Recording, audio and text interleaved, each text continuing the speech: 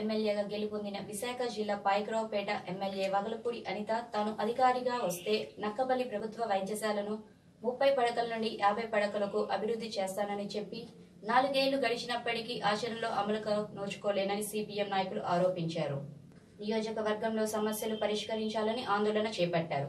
ఈ సందర్భంగా సిపిఎం నాయకులు అప్పలరాజు వెంకటస్వామి మాట్లాడారు. నియోజకవర్గంలో డిగ్రీ కాలేజ్ ఏర్పాటు చేస్తామన్న హామీ ఊసే లేదన్నారు. డిగ్రీ కాలేజీ యొక్క తరగతి గదిని ప్రారంభిస్తామని చెప్పేసి రెండు వేల పద్దెనిమిది పంతొమ్మిది విద్యా సంవత్సరం పూర్తి కావస్తూ ఉంది. కానీ నేటికి డిగ్రీ కాలేజీకి సంబంధించినటువంటి శంకుస్థాపన కానీ శిలాఫలకాలు కానీ ఏమీ జరగలేదు. వెంటనే ప్రభుత్వం స్పందించాలి.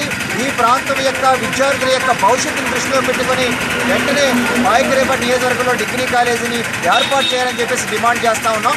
అదేవిధంగా నక్కపల్లిలో ఉన్నటువంటి ముప్పై పడగల ఆసుపత్రిని యాభై పడగల అప్గ్రేడ్ చేయాలి.